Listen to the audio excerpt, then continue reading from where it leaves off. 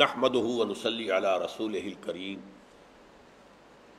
अम्माबाद फ़क़ाल तबारक व ताली कमा वरद फ़ी सूरत हदीद आऊज़बिल्लिमिनशैतानरजीम बसमीम अलम यानजीन आमनु अन तख्शा क़ुलूबहुम लिज़िक्रिल्लाह व मा नज़ल मिनल हक़ वला यकून कल्लजीन ऊतुल किताब मिन कबल फ़ताल अलैहिमुल अमद फ़क़सत क़ुलूबहुम व कसीरुम मिनहुम फ़ासिकून। एलमू अन्नल्लाह युह्यिल अर्द बअद मौतिहा। क़द बय्यन्ना लकुमुल आयात लअल्लकुम ताक़िलून। इन्नल मुसद्दिक़ीन वल मुसद्दिक़ात व अक़रदुल्लाह क़र्दन हसनन युदाअफ़ु लहुम व लहुम अजरुन करीम। वल्लजीन आमनु बिल्लाहि व रसूलिहि उलाइका हुमुस्सिद्दीकून वश्शुहदाउ इंद रब्बिहिम। लहुम अजरुहुम व नूरुहुम। वल्लजीन कफरू व कज़्ज़बू बिआयातिना उलाइका अस्हाबुल जहीम। सदक़ल्लाहुल अज़ीम। ये चार आयात चौथा हिस्सा है इस सूरह मुबारका का, सूरह हदीद का। अब इसमें एक पॉजिटिव एलिमेंट शुरू हो रहा है। अब तक जो आया है, वो तहलील है तजिया है।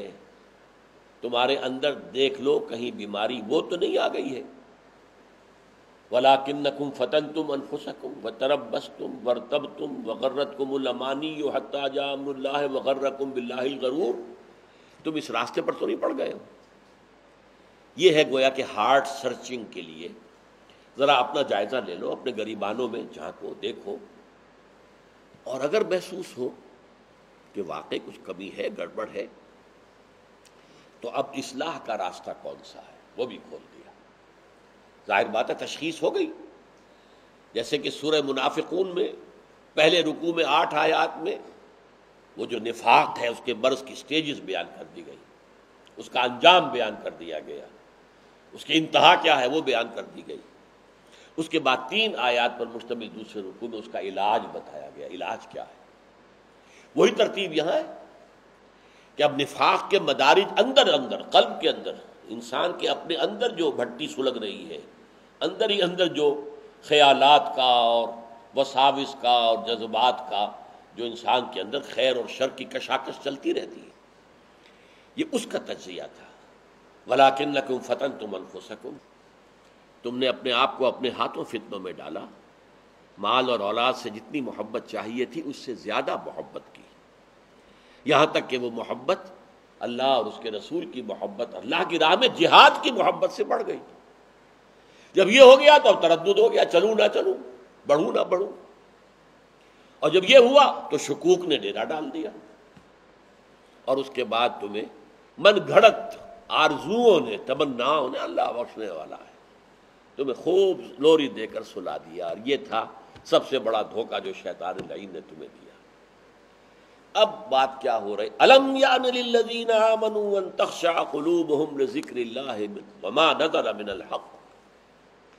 क्या वक्त आ नहीं गया है उन लोगों के लिए जो ईमान लाए?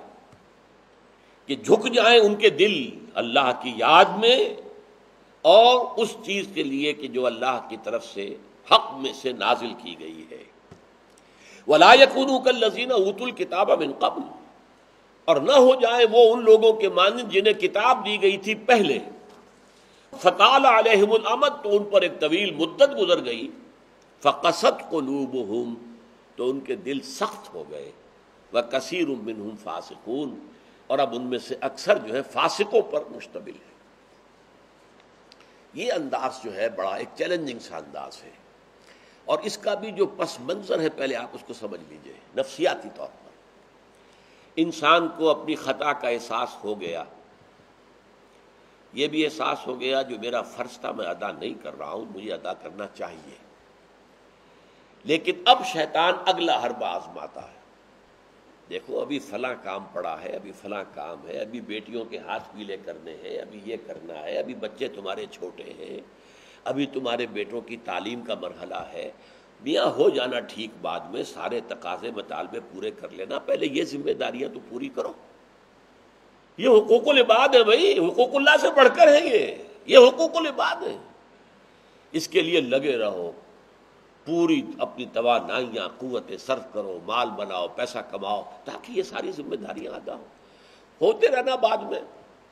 ठीक है जरा फरागत हासिल हो जाए फिर तुम सब अपना, अपने आप को, अपनी पूरी तोानाइयों को अपने पूरे वक्त को अल्लाह के लिए लगा देना। ये है ताखीर और तावीक। इसका हरबा शैतान का, ये सबसे बड़ा है। कर लेंगे भाई, कर लेंगे। कोई नहीं, अभी जरा जल्दी नहीं, अभी अभी फला काम है, फला फराइज है, फला जिम्मेदारियाँ हैं। जरा इनसे निपट लू। पर अगर मैं रिटायर हो जाऊँ सर्विस से तो फिर मैं सारा अपने आप को लगा दूँगा। वो रिटायरमेंट करते ही उस वक्त जब आपके अंदर रहता ही कुछ नहीं। अगर आपके अंदर कुछ रह जाए तो वो छोड़ेंगे आपको। वो सारी तवानाइयाँ तो गई। अब तो आप खोखला एक ढांचा लिए फिर रहे हैं, आपके अंदर सलाहियत और कुत कहाँ है अब? लिहाजा ये सारे धोखे शैतान के हैं। इसमें एक चैलेंजिंग अंदाज में, अलम या आ वक्त आया नहीं है अभी अहले ईमान के लिए। किस चीज़ का इंतज़ार कर रहा क्यों जैसे ही ख्याल हो जाए कि वाकई ये फ़र्ज़ है, फ़ौरन लब्बैक कहो। तुमने अगर किसी भी पहलू से ताखीर और तावीक का रास्ता इख्तियार किया तो ये शैतान के फंदे में गिरफ़्तार होने का वो रास्ता है असल। वो शैतान फिर छोड़ेगा नहीं। फिर वो उसे आपको अपने फितराक का नखचीर बना लेगा, अपने थैले में शिकार की हैसियत से, जैसे कि आप तीतर बार के थैले में डाल लेते हैं शिकार करके उसके फितराक के नखचीर बनकर रह जाओगे, फिर आगे निकल नहीं सकोगे। ये ताखीर और तावीख जो है, यही हुआ था कस्ब तबूक में। हज़रत काब इबन मालिक रज़ी अल्लाह तु ने, वो भी उन तीन सहाबा में से थे जो सच्चे सादकुल ईमान सहाबा थे, लेकिन गजब तबूक में नहीं गए। हजूर ने वापस आके, जो लोग नहीं गए थे, उनसे जवाब तलबी की। लिहाजा मुनाफिकीन तो आए, अल्लाह की कसम है, खुदा की कसम है, या रसूल अल्लाह, मैं अल्लाह को गवाह करके कहता हूँ, ये था ये था ये था, ये सबब था, मैं नहीं जा सका। हजूर फरमाते थे, मुस्कराते अच्छा जाइए, तशरीफ़ ले जाइए। कोई पकड़ नहीं। ये आए जब काब इबन मालिक तो हुजूर के चेहरे पर मुस्कुराहट थी, तंजिया मुस्कुराहट। आप फरमाइए, आप क्यों नहीं गए? क्यों नहीं गए थे हमारे साथ? अर्ज़ किया, हुजूर, मेरे पास भी जबान है। मैं भी झूठ बोल सकता हूँ। लेकिन आज मैं झूठ बोलकर आपकी गिरफ्त से, आपकी सरजनिश से अपने आप को बचा लूँगा, लेकिन क़यामत में क्या करूँगा? खुदा की कसम, जितना सेहतमंद मैं इस जमाने में था, उतना सेहतमंद कभी नहीं रहा। यानी कोई बीमारी मुझे आज नहीं, लायक नहीं थी। और जितना फारिगुल बाल मैं इस जमाने में था हर चीज़ मेरे पास थी। उतना फारिगुल बाल में कभी नहीं रहा। लेकिन हुजूर मेरे नफ्स ने मुझे पट्टी पढ़ाई कि हुजूर तो जाएँगे ना तीस हज़ार का लश्कर लेकर तो उसकी तो एक खास रफ्तार होती है, तेज रफ्तारी से तो नहीं जा सकता। और तुम्हारे पास है बड़ी मज़बूत, तकड़ी ऊंटनी है। तुम्हारी जो नाका है तुम्हारी, वो तो बहुत जो है कुत वाली है। लिहाजा अभी दो तीन दिन चलने दो लश्कर को, फिर तेज़ी के साथ दौड़ाकर अपनी ऊँटनी को जाके मिल जाना। हर रोज सुबह मुझे यही नफ्स जो है पट्टी पढ़ाता रहा कि अचानक एक दिन मैंने महसूस किया कि अब तो चाहे मैं कितना ही तेज दौड़ लू, आपके साथ नहीं मिल सकता। बस मैं रह गया, बैठ अब जो सदा दे ये है ताखीर और ताबीर। उन्हें सजा दी गई। मुकाता, कोई शख्स इससे बात ना करे। तीन साहबा का मामला है, ये सूरह तौबा के अंदर तफसील से आया है। और सही बुखारी की तवील तरीन अहादीस में से पढ़ने के काबिल है कि उन्होंने कैसे बयान किया अपने पूरे मामले को। ये नफ्स कैसे धोखा देता है? अभी चंद दिन और मदीने के अंदर अपने नखलिस्तान की ठंडी छाओं के अंदर आराम कर लो, चंद दिन और। भाई, जाना है, बहुत दूर जाना है, तबूक जाना है, कोई ये दो दिन में तो नहीं पहुँच जाएँगे हुजूर। फिर दौड़ कर पकड़ लेना, साथ चल मिल जाना। ये धोखा शैतान का, ये धोखा नफ्स का। ये है, अलम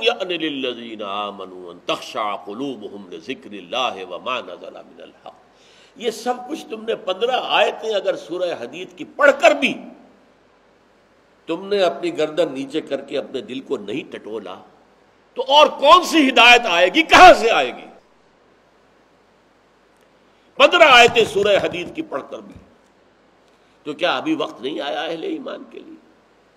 किसका इंतज़ार है? किस चीज़ का इंतज़ार अलम यादीन क्या वक्त आने गया अहले ईमान के लिए? कि उनके दिल झुक जाएँ अल्लाह की याद में? और जो कुछ हक में से नाजिल हुआ, माँ नजला मिनल हक, ये पूरा कुरान अल हक। इसमें से जो ये आयात नाजिल हुई है, ये तुमने अभी सुन ली है, पढ़ ली है।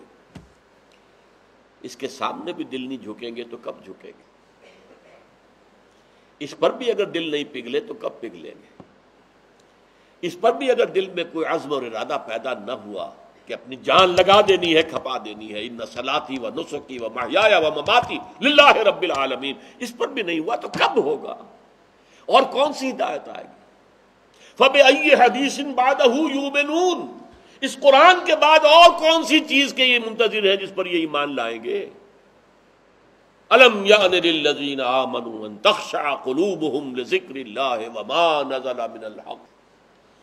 और जैसा कि मैंने तमहीदी जो मेरा बयान था, इन सूरतों के बारे में उसमें अर्ज़ किया था, इनमें अहले किताब से खिताब नहीं है। अहले किताब को निशान इबरत के तौर पर पेश किया गया। देखो मुसलमानों तुमसे पहले भी एक उम्मत थी। मामूली उम्मत नहीं थी।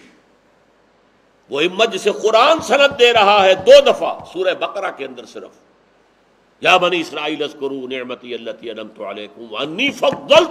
आलमीन। ए बनी इसराइल, याद करो मेरे उस एहसान को जो तुम पर हुआ। मैंने तुम्हें तमाम जहान वालों पर फजीलत दी थी। वो कौम, वो उम्मत उम्मत मूसा। उस उम्मत को कितनी किताबें दी गई? तौरात उन्हें दी गई, जबूर उन्हें दी गई, इंजील उन्हें दी गई। उम्मत तो एक ही है ये। हज़रत मरियम इसराइली नहीं थी क्या? तो चाहे बाप हज़रत ईसा का कोई नहीं है, लेकिन वो हज़रत मरियम के बेटे हैं, इसराइली ये इसराइली नबूत है जो चली आ रही है। हज़रत मूसा और हारून से शुरू हुई है, चौदह सौ बरस कबल। और हज़रत ईसा और याहिया पर आकर खत्म हुई है। ये सिलसिला नबूत का। सैकड़ों नबी आ गए, चौदह सौ बरस में। तो आप अंदाज़ा कीजिए, इतनी बड़ी उम्मत। लेकिन उसका हाल क्या हुआ? वला यकूनू, देखो, न हो जाए ये अहले ईमान भी, कल लजीन ऊतुल किताब अमिन कब उन लोगों के मानिंद, जिनको की किताब दी गई थी इनसे पहले। फ़ताल आलमद तो जब उन पर एक तवील मुद्दत गुजर गई फ़कसत कलूब हम तो उनके दिल सख्त हो गए। इसका नक्शा खींचा गया सूरह बकरा में। सुम कसत कलूब कुम फ़हिया कल हिजारत, अव अशद कसवा। देखो है बनी इसराइल है यहूदियों, उसके बाद तुम्हारे दिल सख्त होते चले गए। बदकारी से, गलतकारी से, दुनिया परस्ती से, शहवत रानी से जर परस्ती से दिल सख्त होते चले जाते हजूर ने फरमाया, जब इंसान एक गुनाह करता है, दिल के ऊपर एक दाग पड़ता है। अगर तौबा करेगा तो साफ़ हो जाएगा, तौबा नहीं करेगा फिर गुना करेगा, फिर दाग पड़ेगा, फिर पड़ेगा, फिर दाग पड़ेगा, फिर यहाँ तक कि पूरा दिल स्याह हो जाता है। और हुजूर ने अपनी मुट्ठी बंद करके कहा, ऐसे हो जाता है। अब इसमें कोई हिदायत दाखिल नहीं हो सकती। बंद हो गई। और जब यह थैली बंद हुई फिर अल्लाह की मोहर लग गई। खत्म अल्लाह कलूबहिम अला समहिम तबा अल्लाह कलूबहिम। अल्लाह ने मोहर लगा दी उनके दिलों के ऊपर। ये मरहला आता है कि जब के फरमाया, अब तुम्हारे दिल पत्थरों के माने बल्कि और अशब्दों कसवा, पत्थरों से भी ज़्यादा। फ़ैन मिनल हिजारत लमाया तफजर मिनुल अनहार। पत्थर तो ऐसे भी होते हैं जिनमें से चश्मे फूट बहते हैं। वही नमिनहा लमा या शक जो चट्टानों में ऐसी भी होती है, शक हो जाती है, उनमें से पानी निकल आता है। वही नमिनहा लमा यह में तुम खशियत चट्टाने ऐसी भी होती है, अल्लाह के खौफ से गिर पड़ती हैं। तामल तुम्हारे दिल उनसे भी सख्त हो चुके हैं, और अल्लाह बेखबर नहीं है उससे कि जो तुम कर रहे हो। आज इस उम्मत पर भी तो चौदह सौ बरस गुजर गए। कितना अच्छा गुजरा है। और आज वही ख्वाहिशात हैं। हम तो उम्मत मोहम्मद में हैं, सल्लल्लाहु अलैहि वसल्लम। वो तो शाफ महशर है। वो तो हर उम्मती को बख्शवा लेंगे, तब जाकर राज़ी होंगे। अल्लाह राज़ी करेगा उन्हें, वो राज़ी उसी वक्त होंगे जब हर उम्मती को बख्शवा लेंगे। सैया बे कोतवाल अब डर काहे का?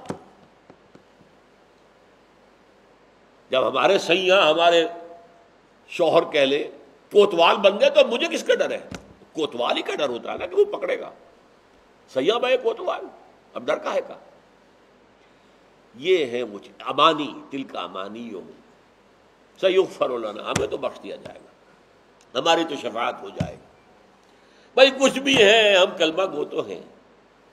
कुछ भी है, मोहम्मद के नाम लेवा तो है, सल्लल्लाहु अलैहि वसल्लम। लेकिन ये कुरान मजीद में यही उनका कौल नकल किया गया था।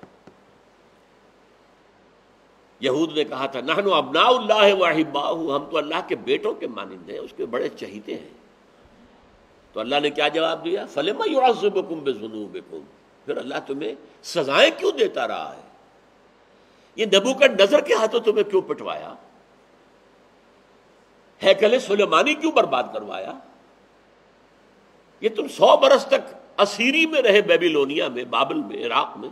क्यों? तुम्हारा दूसरा जो था, हैकल बनाया तुमने, वो भी सन सत्तर में गिरवा दिया, टाइटस के हाथों। एक लाख तैतीस हज़ार एक दिन में कत्ल किए उसने, टाइटस ने। एक लाख तैतीस हज़ार यहूदी यरूशलेम के अंदर एक दिन में कत्ल किए, अंदाज़ा किया पिछली सदी में साठ लाख यहूदी जर्मनों ने खत्म किए।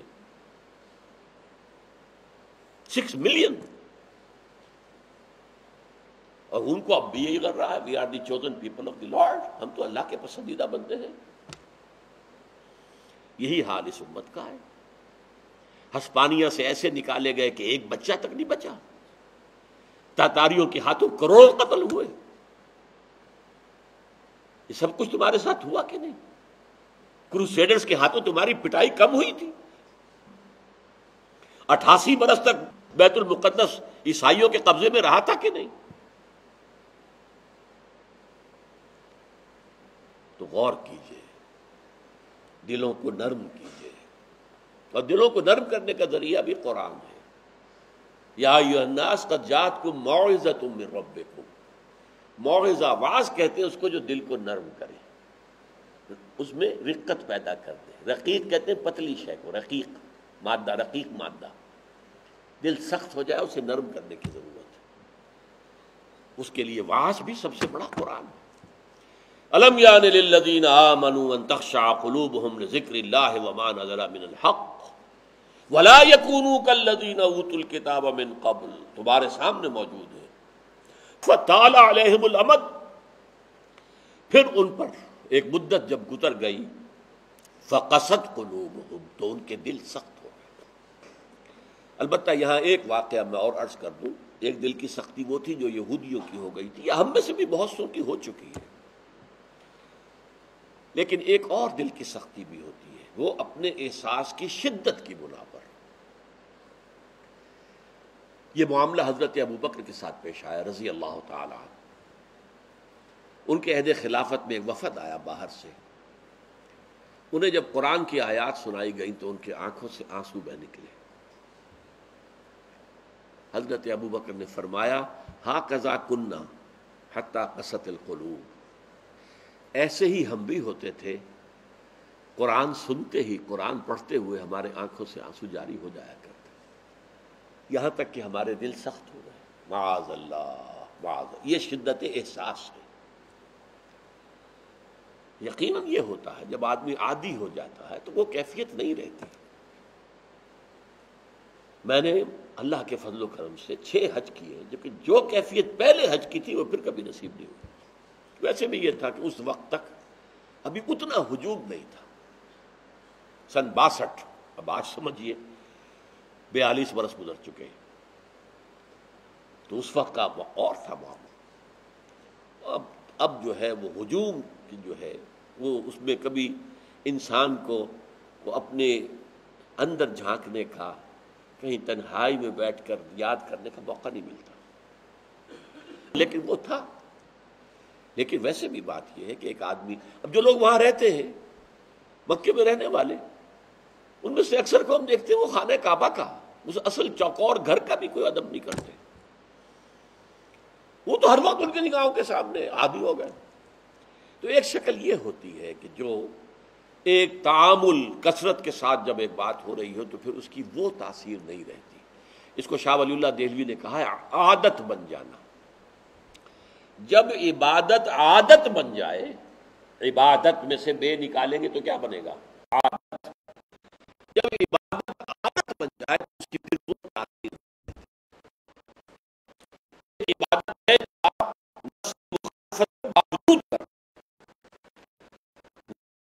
के सो अभी।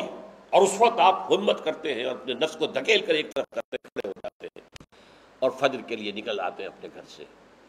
लेकिन जब ये इस दर्जे आदत हो गई कि अब आँख उस वक्त पे खुली ही जानी है लाजमन, अब ये आपका एक रूटीन बन गया तो फिर भी वो इबादत है, उसमें कोई शक नहीं। लेकिन उसकी वो तासीर नहीं होगी, जो कि नफ्स की मुखालफत करते हुए किसी इबादत को सर अंजाम देने से जो असर पैदा होता तो फरमाया, फ़कसत कलूब हज़रत अबू बकर का भी वो एहसास की शिद्दत जो थी। जैसे हजूर ने फरमाया इन नहूला अलाकल भी मेरे दिल पर भी कभी कभी हिजाब सा तारी हो जाता है। माज अल्लाह कैसा हिजाब? अब इस हिजाब के लफ्ज से धोखा ना खा जाइए कहीं। एक हिजाब मेरा और आपका है। एक हिजाब मोहम्मद रसूलुल्लाह सल्लल्लाहु अलैहि वसल्लम कि वो जो अल्लाह की तरफ़ तवज्जो की इंटेंसिटी है इंटेंसिटी उसमें थोड़ी सी कमी भी हो गई तो उसे आप हिजाब से ताबीर कर हमें तो वो कैफियत ही मैसर नहीं हो सकती। लेकिन उस इंटेंसिटी के अंदर लफ्ज इंटेंसिटी अंग्रेज़ी का बार बार बोल रहा हूँ, उसकी शिद्दत। लेकिन शिद्दत के लफ्ज के अंदर जो है, वो उतना मफहूम नहीं आता जितना इंटेंसिटी के लफ्ज में। वो इंटेंसिटी जो है, उसमें जरा सी कमी हुई हुजूर परेशान हो गए। वही नहूला कल भी वही नील यौम। और हर रोज मैं सत्तर मरतबा इस्तफार करता हूँ अल्लाह के जनाब। तो क्या आप बुरा करते थे? माजल्ला ये जरा सी उस तवज्जो की शिद्दत में इंटेंसिटी में जरा सी कमी हुई, इसे भी आप हिजाब से ताबीर कर रहे हैं। तो यही है मफहूम हज़रत अबू बकर के उस कौल। लेकिन एक है कसावत कलबी मासीत की वजह से, दुनिया परस्ती की वजह से, नफ्स परस्ती की वजह से, जर परस्ती की वजह से, शोहरत परस्ती की वजह से, इकतदार परस्ती की वजह से, ये परस्तिशें जो है, ये जो दिल को सख्त करती हैं तो वो पत्थर और चटान से ज़्यादा सख्त हो जाता है। सुम मकसद कलूबकुम, फहिया कल हिजारत और वशद कसवा। वही नमिन हिजारत लमाए तफजर मिनहार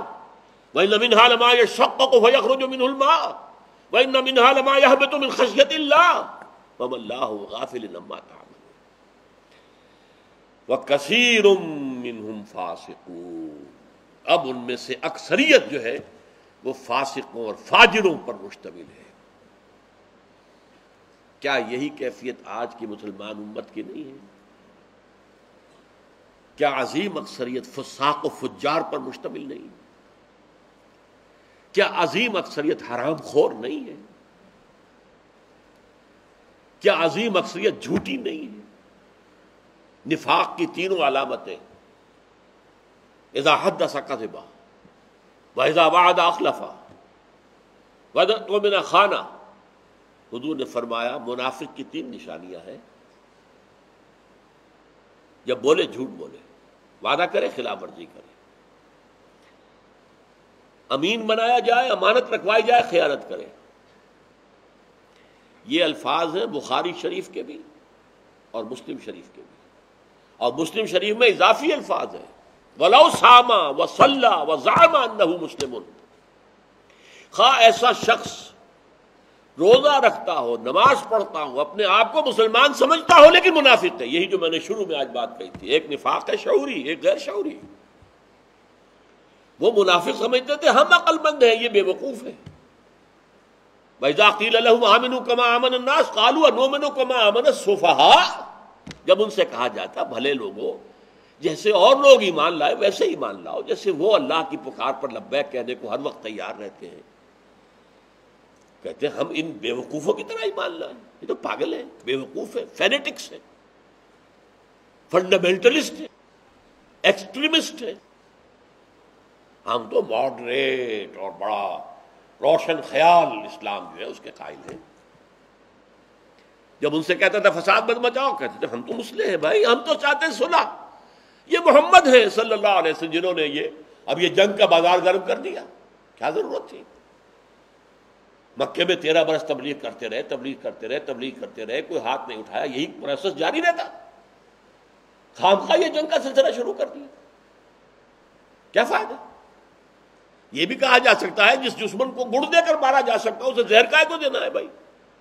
तुम्हारी तालीम इतनी आला है, इतनी उम्दा है, फितरत के मुताबिक है, फैलाओ।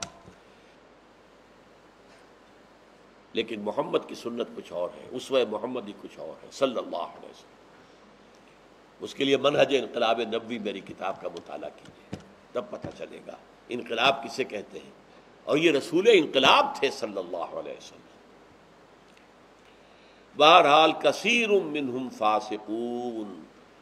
जो बात कही गई उन अहल किताब के लिए उस वक्त, आज वो हम पर रास्त आ रही है। अल्लाह ताला हमें इससे निकलने, तौबा करने, अल्लाह के जनाब में सर झुकाने, अल्लाह की किताब के सामने सर झुकाने की अल्लाह ताला हमें तोफ़ी अता फ़रमाए।